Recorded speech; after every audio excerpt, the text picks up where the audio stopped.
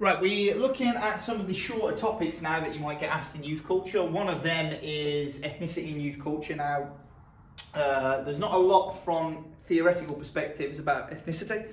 Um, you know, the Marxists tend to be looking at, uh, well, the skinheads may work quite well actually for, for the Marxists because the skinheads are obviously needing to be white, so there is an element of ethnicity there. But for functionalism, they're saying youth is homogenous. For feminism, we're just focusing on gender. So uh, we haven't looked a lot at, at, at, ethnicity, I suppose, in youth culture. There's not a lot on there. Um, so it's a shorter kind of topic. Uh, and it will work well for a short question about ethnicity that might just say explain the relationship between ethnicity and youth culture membership, but it will also work nicely um, in a bigger question to be evaluative.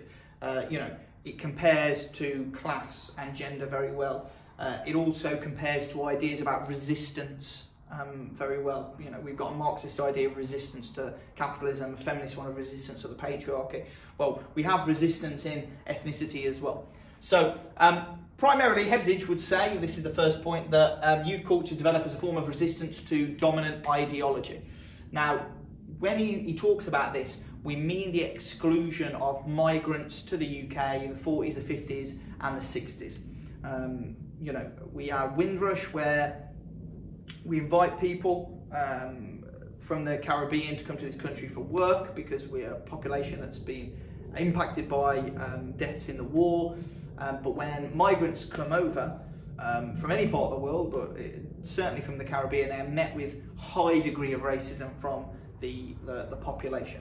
Um, and what Hebdige would say is there's a good example of Rastas forming as a response to this kind of racist dominant ideology that we see in the 40s, the 50s, and the 60s, where migrants are excluded either because of colour bars uh, or their inability to get housing in the areas that they want, their inability to get jobs in areas that they want. So there's a big problem.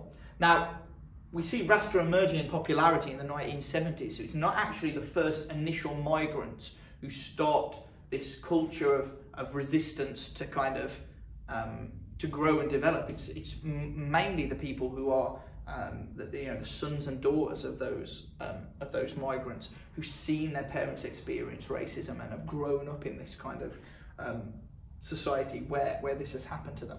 So we can see Rasta as a, as a good example of a group that form to resist the dominant ideology, um, in that case, a white ideology, which is marginalising and discriminating against black people.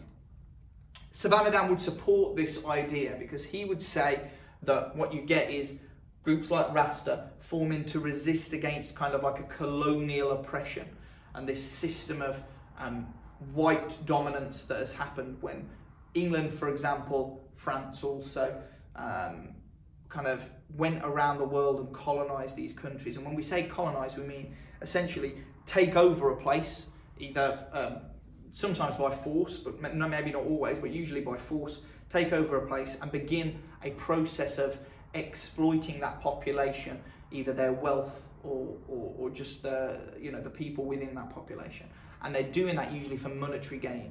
So we would have gone to countries, forcefully uh, took charge of those countries, embedded our own systems and our own kind of leaders, and then started to exploit that country to gain wealth for Britain.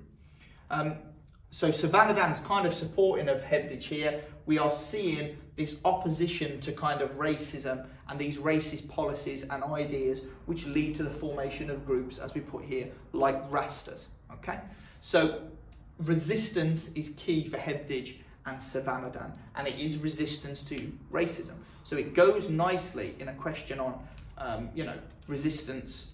It, it nicely compares to feminism. It nicely compares to Marxism because yes, he's saying there's resistance, but it's resistance to something, um, something which is different. Um, We've also got here Hall, uh, who you should know by now, is moral panic. Policing the Crisis could also be used when we're looking at ethnicity. And Gilroy, who I'll talk about in just a second. So Hall um, would say that essentially capitalism is, uh, is to do um, is to blame for the formation of um, youth cultures. Um, and for the treatment of certain youth cultures. We know in his study, Policing the Crisis, that it's young black lads who, who are kind of vilified and blamed for the act of mugging in the 1970s. Um, and Hall would suggest that actually the rates of mugging are not going up, but what it is, is a kind of media-driven moral panic to um, turn the young black youths into folk devils because of the, uh, or in order to rather, distract the general public from the crisis that's ensuing in the in capitalist society, the low wages, the unemployment, the urban decay, the riots that you that we're seeing. So young black lads become scapegoats for the problems, and as such, their deviance is amplified because the numbers of stop and search goes up, the numbers of aggressive policing goes up, the numbers of aggressive encounters goes up, and so does racism. And it culminates in um, you know, the formation maybe and popularity of groups like Rude Boy um, becoming more popular in that time. And also we see race riots uh, in Brixton in the early 80s uh, taking place. And, and, this can all be kind of linked back to this, this potential moral panic. Gilroy as well, who we'll cover in crime and deviance, um, Gilroy will say that, um, that, that essentially groups like Rasta form not just as a response to racism, but also kind of capitalist oppression as well. So both Gilroy and Hall taking a kind of Marxist angle to this, They're saying it's not just race, but it's also capitalism to blame. So uh, although similar to Hebdige and Sivanandan in blaming racism, they've gone that extra step and said, but also it's because of class exploitation as well, uh, which is obviously why they've got a Marxist element from these writers. Um, some of the Marxists as well um, like Miles, I think, would be um, critical of Gilroy by saying that he, well, he's focusing too much on racism, and really the big the big struggle is still the social class struggle. Um, but you know, so there's there's still debate within the Marxist um, realm and within that field uh, uh, uh, about this view. Um, we've got a couple more. Oh, Gilroy. Um, actually, when we talk about commercialization of black music, Gilroy does talk about um, the commercialization of maybe like reggae style, um, and you know the kind of appropriation of symbols of resistance that the Rastas used, like dreadlocks and certain colours, um, and, and the way that they've kind of been taken in and almost incorporated by the mainstream. Gilroy actually argues that perhaps it's not um, not a segregating thing to have this kind of level of incorporation, that it could be quite good for society to, to have you know, white working class people and um, black working class people uniting over music or uniting over style. Um, it's kind of maybe more of a unifying thing than a segregating thing. But there's some element that you could talk about, you know, consumerism here based off of that. Um, you've got Johal uh, and Bennett. Uh, Johal will principally talk about Brasian. So we focused here um, mainly on Rasta and Rude Boy and black subcultures. Now we're going to look at um, Asian youth subcultures and the hybrid culture Johal will call Brasian, a mixture of British and Asian, so the fusing together of um, two cultures. Now remember, hybridity is this notion of the bringing together of two things. So it's kind of like chicken tikka masala is an example of a hybrid dish. It's not a traditional curry, but it's um, it's got a British slant to it. I think Scotland they came up with it in. Uh, but it kind of fuses two things that we like together.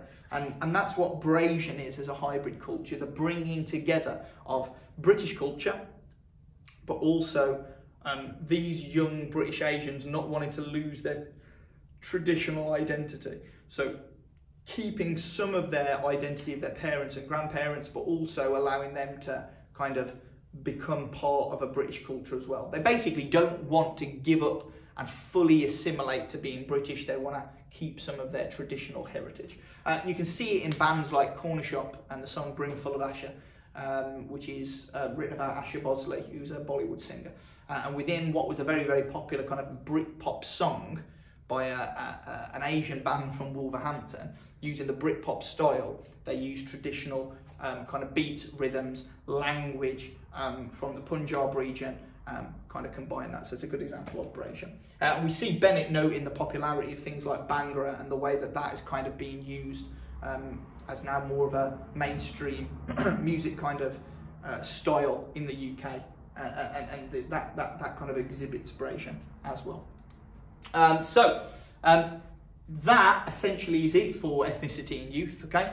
So we've got our focus on um, resistance to racism, We've also got here the impact of capitalism, the, the media, the impact of the oppression of, uh, of, of the working class, um, and racism. And then here we're looking at hybrid culture existing because they don't want to fully assimilate to um, to kind of like a, a traditional British British culture. Um, a much shorter topic, but again useful to compare to things like gender and class, um, and also nice um, in an essay about resistance to give a different perspective to just the you know resistance to capitalism, resistance to patriarchy angle that Marxism and feminism will employ.